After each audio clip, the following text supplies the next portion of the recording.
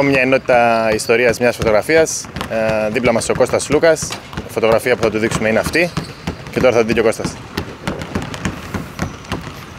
Πρώτα απ' όλα θυμάσαι χρονιά; Ναι, είναι η πρώτη μου χρονιά στον Ολυμπιακό, το 8-9.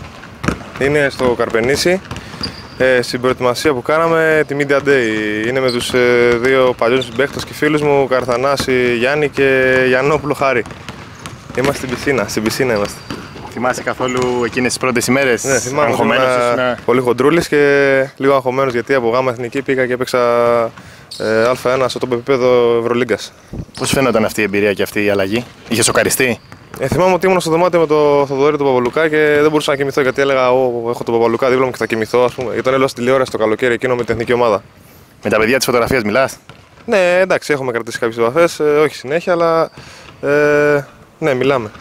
Κοιτώντας πίσω, αν και δεν κοιμόσουν εκείνα τα βράδια, ονειρευόσουν όλα αυτά που έχεις ζήσει μέχρι τώρα στον Ολυμπιακό; Ναι, η αλήθεια είναι ότι έχω ζήσει πολύ μεγάλες στιγμές, αλλά ευελπιστώ να ζήσω καλύτερε από εδώ και πέρα.